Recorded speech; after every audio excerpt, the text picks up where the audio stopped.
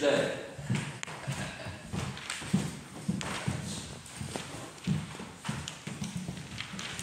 You know, I'm not a very good musician. I, I'm no sound, I, I'm a little round mound of sounds, all I am. I have to have chords to be able to play, so please forgive me on that. But, you know, this little song was ringing in my heart just last week, and and uh, it's a blues tune, of all things. We need a little blues every now and then, don't we? But uh, it's Walk With Me. And uh, you know what? I need Jesus to walk with me every day. Amen? We need Him so bad.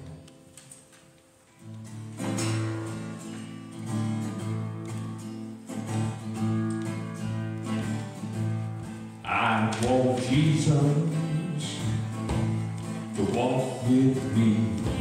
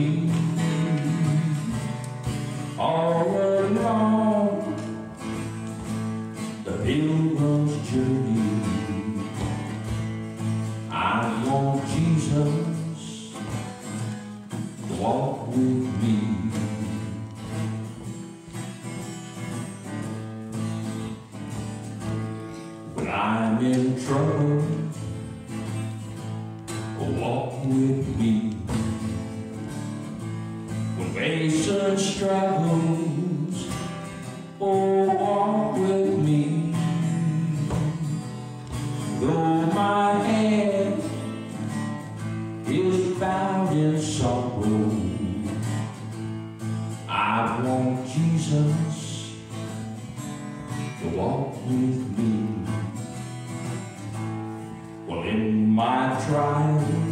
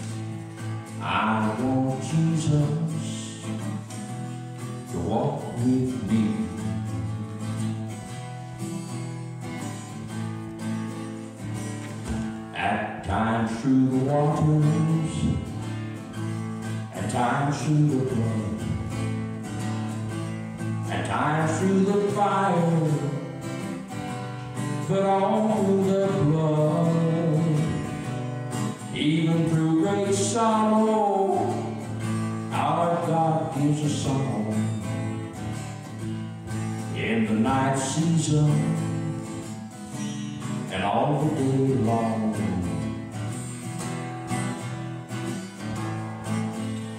Sing oh, me.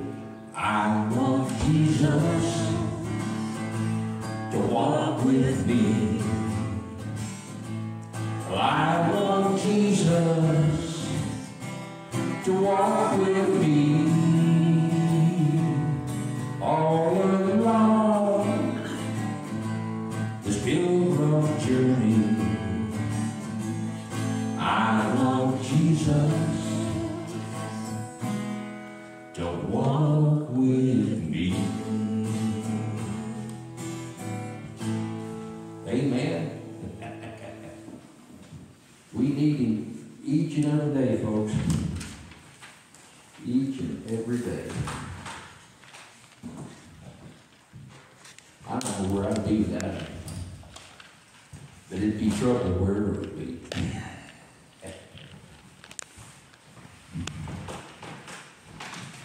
We are going to be in the book of Daniel today.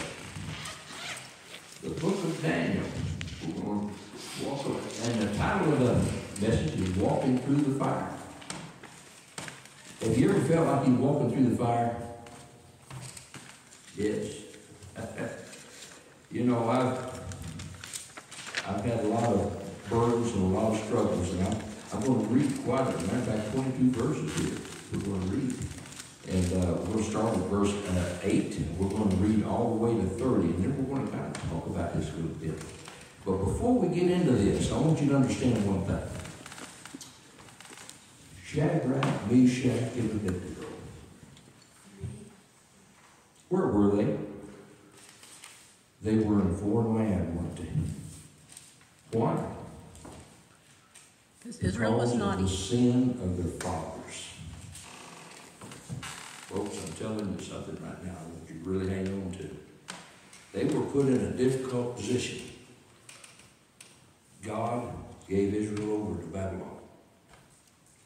And they were all under Nebuchadnezzar because of the sin of their fathers. All they needed to do was obey God. And those kiddos wouldn't have been there. But praise be to God, they had some knowledge. Someone taught them in Sunday school somewhere because they wanted to bring some of these kids back to Babylon where they could teach them literature and language. So, we all have probably been in the wilderness at one time or another, taken away. I know sin has led me to places where I didn't need to be. And it was, it was a learning experience there. God used it. Praise be to God. He, his mercy and His grace even works through sin. Amen? And I'm thankful for that. But I want you to understand the devotion these kids had as we go through this, how much they were devoted to God. They would not yield as we go through this study this. Even though they were in a foreign land, they would not disavow their God. Therefore, at the time, certain Chaldeans came forward and accused the Jews. They spoke and said to King Nebuchadnezzar, O king, live forever. You, O king, have made a decree that everyone who hears the sound of the horn, flute, harp, lyre, and psaltery, and symphony, with all kinds of music, shall fall down and worship the gold image. And whoever does not fall down and worship shall be cast into the, the midst of the burning fiery furnace. There are certain Jews which you have set over the affairs of the province of Babylon, Shadrach, Meshach, and Abednego. These men, O king, have not paid due regard to you. They do not serve your gods or worship the gold image which you have set up. Now, I want you to understand something here. Now, this is some real good so-called probably friends that's jealous of Shadrach, Meshach, are trying to tell on the king. As a matter of fact, they come up with some of these rules and these laws to try to get Daniel in trouble. So let's think about this as we're going. We see some of that going on in this nation today. Then Nebuchadnezzar, in rage and fury, gave the command to bring Shadrach, Meshach, and Abednego. So they brought these men before King. Nebuchadnezzar spoke, saying to them, Is it true, Shadrach, Meshach, and Abednego, that you do not serve my gods or worship the gold image which I have set up? Now, if you are ready at the time you hear the sound of the horn, flute, harp, lyre, lyre, and, uh, and psaltery, and symphony with all kinds of music, you, you fall down and worship the image which I have made, good. But if you do not worship, you shall be cast immediately into the midst of the burning fiery furnace. And who is the God who will deliver you from my hands? Shadrach, Meshach, and Abednego answered and said to the king, O Nebuchadnezzar, we have no need to answer you in this matter. I love this. If that is the case, our God whom we serve will be able to deliver us, is able to deliver us from the burning fiery furnace. And he will deliver us from your hand, O king. But if not, let it be known to you, O king, that we do not serve your gods, nor will we worship the gold image which you have set up. They were refusing to bow. Amen? They were refusing to bow before anything else other than their own God.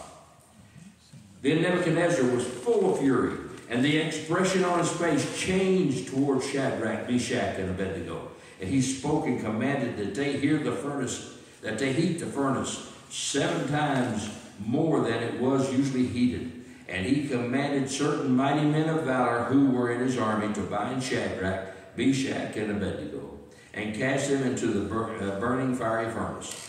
Then the men who were bound in their coats, their trousers, uh, their trousers, their turbans, and their other garments were cast into the midst of the burning fiery furnace. Therefore, because the king's command was urgent and the furnace exceedingly hot, the flame of the fire killed those men who took up Shadrach, Meshach, and Abednego. And these three men, Shadrach, Meshach, and Abednego, fell down into the midst of the burning fiery furnace. Then King Nebuchadnezzar was astonished, and he rose in haste and spoke to his counselors Did we not cast three men bound into the midst of the fire? They answered and said to the king, True, O king.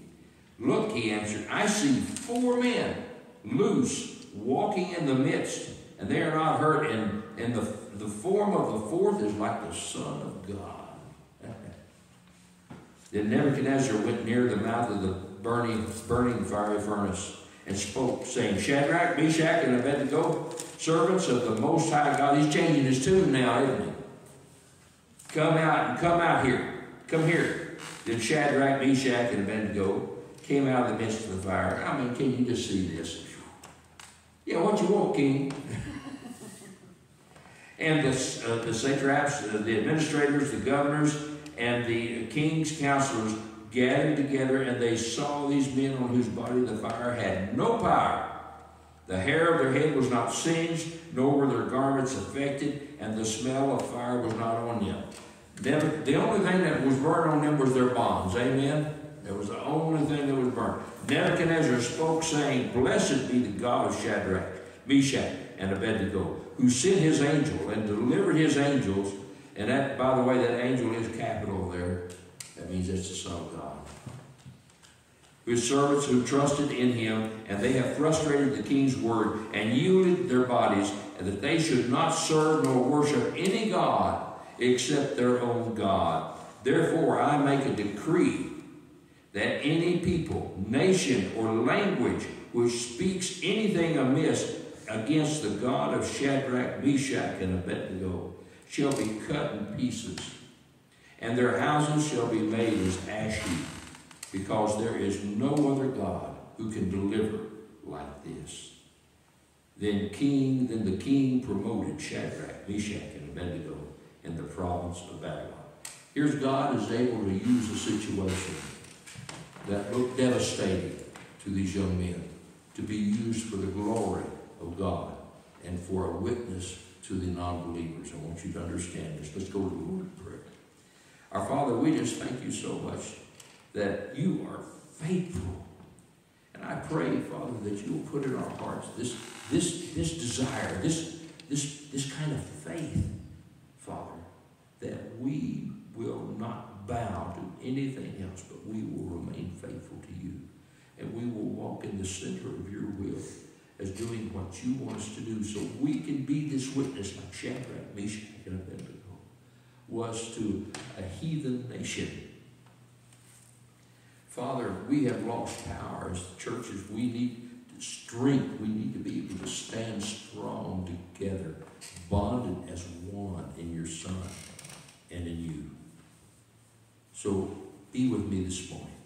Put the desire in my heart, words on my tongue to say what you want me to say. And I pray that you'll prepare every heart here to hear. In Jesus Christ, we pray. Amen. How many times are we challenged to yield or to bow to something else in our life? Folks, we've got to understand that everywhere we go, we may not have a golden God sitting out there, but we got lots of others that, that people are trying to force upon us. Amen? We need to do everything we can to remain as faithful as we can with our eyes fixed upon Him at all times. And not seeing anything else, anything else.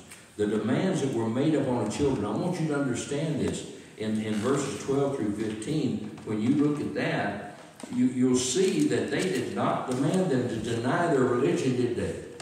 They said, no, you don't have to deny, but you've got to accept the Son. That's not what our God wants, amen?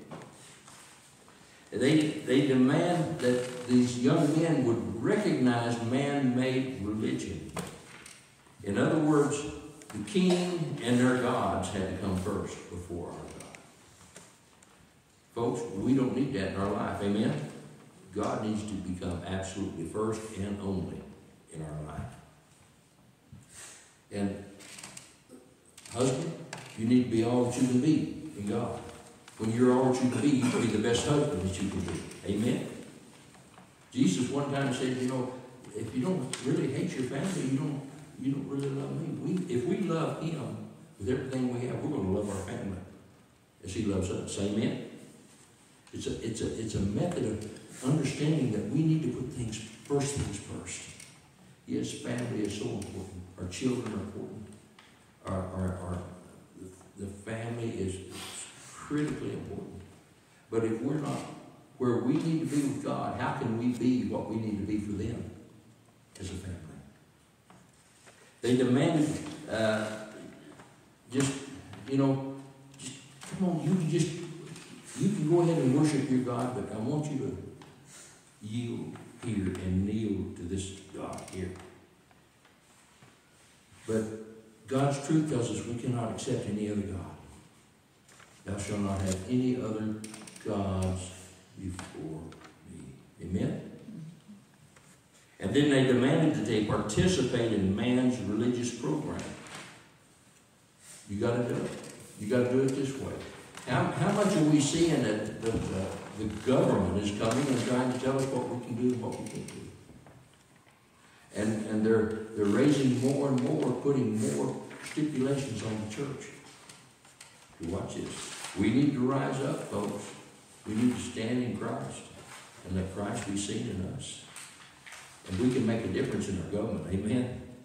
We need to make sure that we elect God fearing people to offices to do the right thing. Listen, there's just the right thing. There's one right thing, and there's several wrong things that we can do. But we need to do the right thing.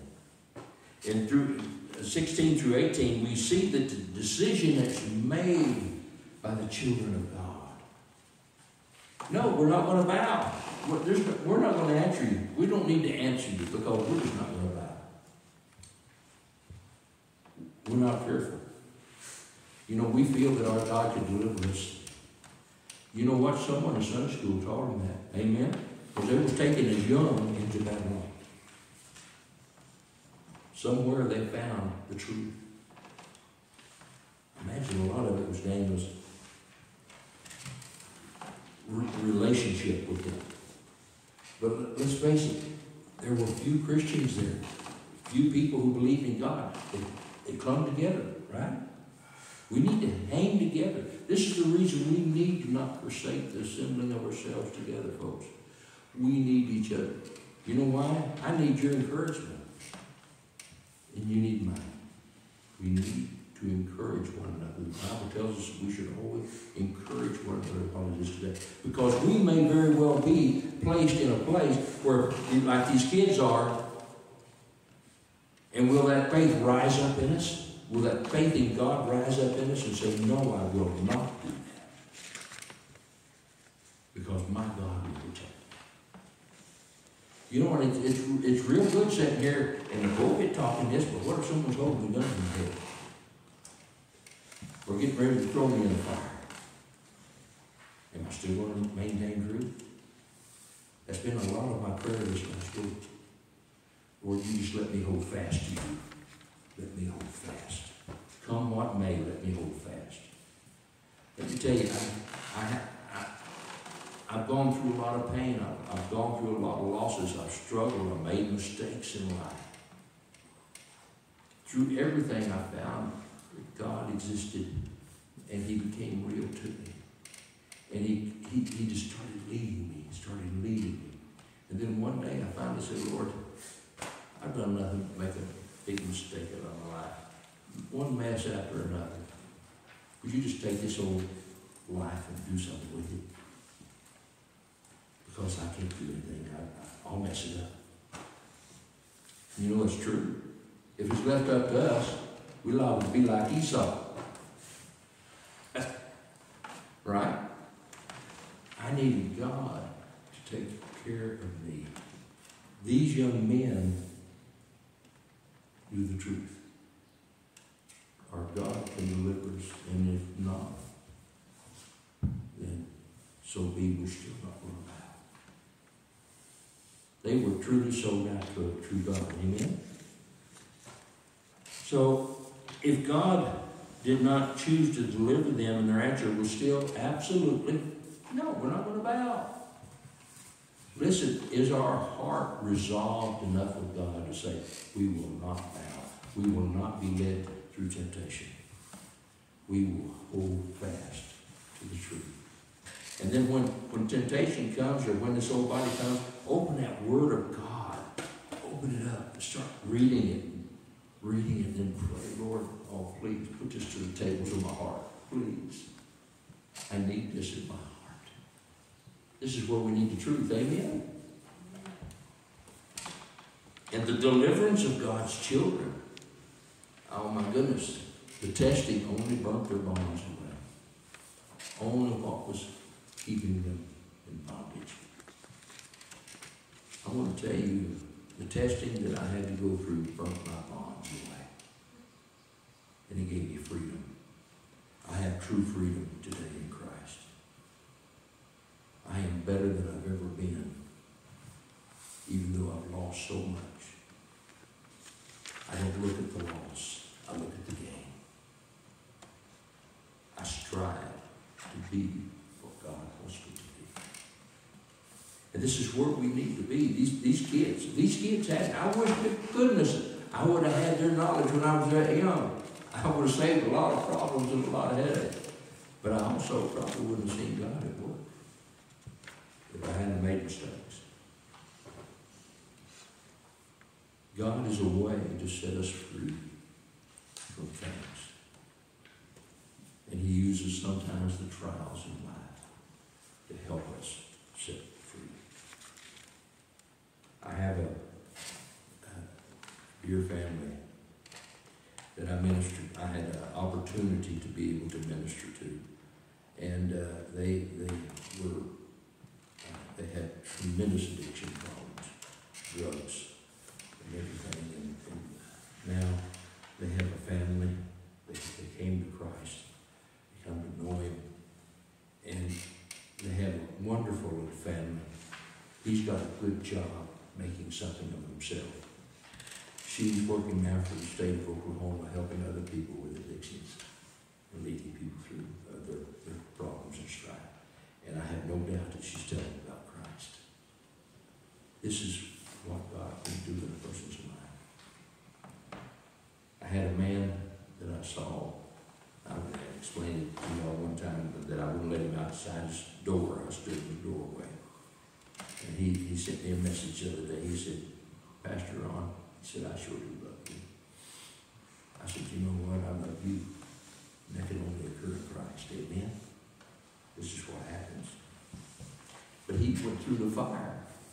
He went through the fire. He lost a child in an automobile accident. He was very bitter.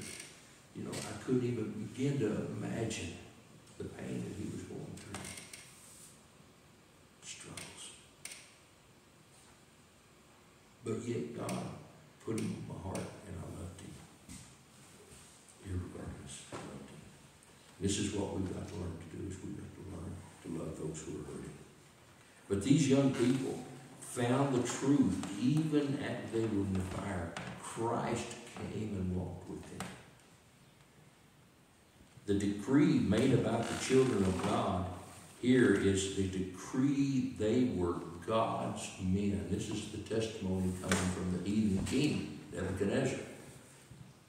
This, this is God's men. a, a God of all gods. He hadn't quite got there yet about learning there's only one God. But their action was a testimony that led him to the truth. The decree that God was supreme came out, gave God all the glory, everything that he had, everything that he needed. Now, what do we need? The, devi- the, the devotion needed that we come to God, the building of the faith, they faced the ultimate test of their faith. Have we faced that test? Have we passed it? They either had to disobey the Lord or they had to disobey the king. Which one will we do? Will we remain faithful? Even in our everyday life? In our business? You know, we learned about deception in our Sunday school lesson this morning. Will we understand and be sure that we're not deceivers? That we will be honest with ourselves and with others? It's important. This is part of being who we are. Their decision was a matter of life and death in this situation. Deuteronomy 6 4 5. Hear, O Israel, the Lord our God, the Lord is one. You shall love the Lord your God with all your heart, with all your soul, and with all your strength. That tells me that doesn't leave much behind, does it? We're to love Him with everything. This faith that these young men displayed is a perfect picture of total, absolute surrender. And I'm here to ask you today, have you absolutely surrendered to God in your life? In times of trial or temptation, one thing we need more than ever is in faith. Remember this, faith, faith, faith, don't take a whole lot, just use what you got. 2 Peter 3, 17 and 18. You therefore, beloved, since you know this beforehand, beware lest you also fall from your own steadfastness, being led away to error of the wicked, but grow in the grace and knowledge of our Lord and Savior Jesus Christ. To him be the glory both now and forever. Amen. You see, what we need is absolute and total deliverance. And what that is the result of favor that we can have. Will he, will he do it? Will God deliver me? Will he help me? You know, sometimes we have to go through something. How many times do we pray to God selfishly? I don't want to have to go through this, Lord, help me. Sometimes we need to pray, God.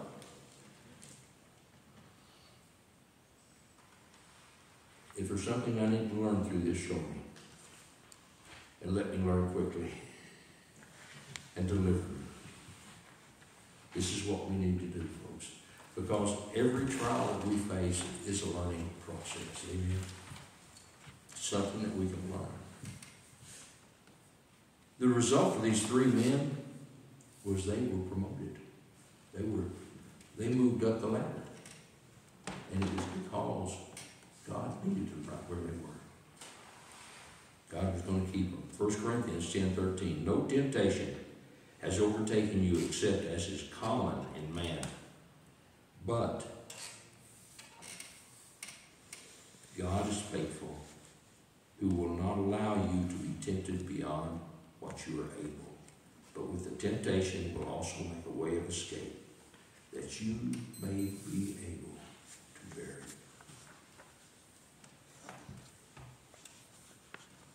You know, the, the message here, I'll let y'all read it later, but it's got Psalms 23, 1 through 6, and knowing the shepherd.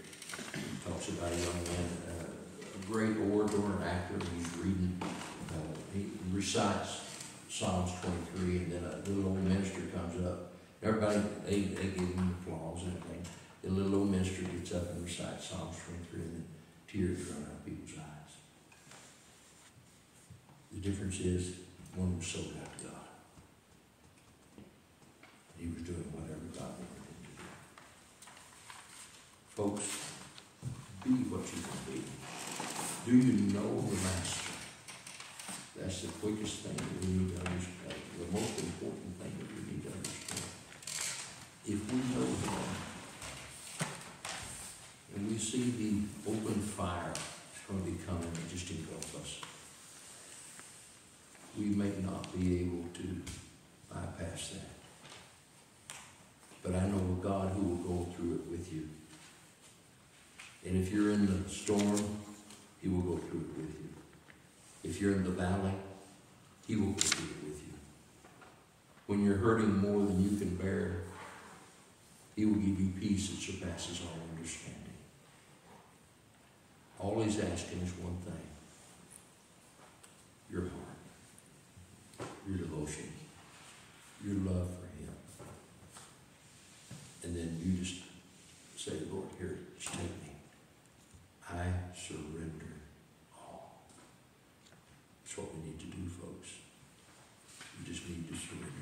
Can you turn that to that song, I Surrender All? I can do that. I want us to sing that. That's all. Next. We will close all.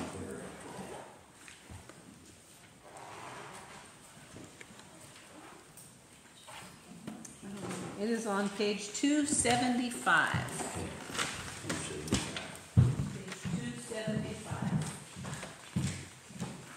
Do it cappella. You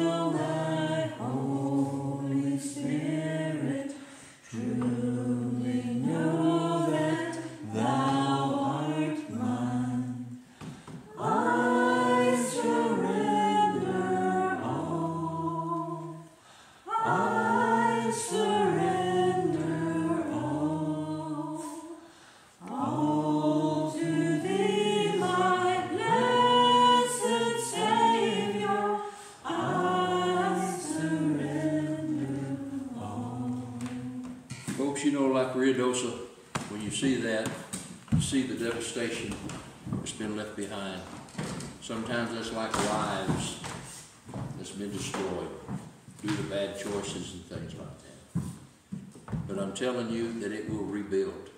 And that's what God does with us. He rebuilds us. A whole new creation. A new created being. You know, one thing I can say is I'm not that old man I used to be. I'm a new person in Christ. Let's continue to believe in that and let's walk that way. Brother Ray,